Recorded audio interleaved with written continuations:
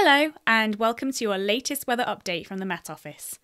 It's a cooler and breezier theme to the weather this weekend as a cold front swept across the UK last night.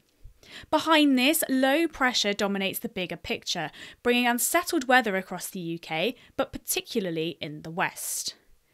Looking at the rest of today, and it will be generally quite breezy, mainly for Northern Ireland and western parts of England, Scotland, and Wales, where there's a risk of coastal gales.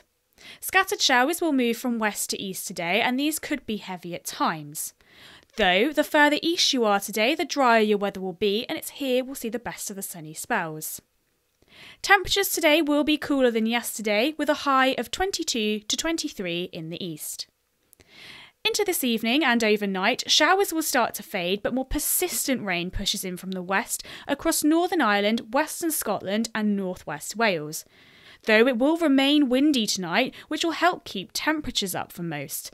Though in rural areas in the east, where we'll see some clearer skies, we could see temperatures dipping into single figures. Tomorrow will be a similar day for most, with further showers or longer spells of rain in the west. Strong winds will continue with the threat of coastal gales once again in the west.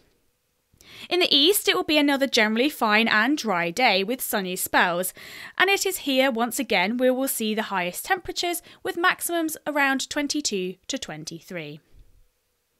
Thank you for listening, and for all your latest weather updates, follow us on social media. Bye for now.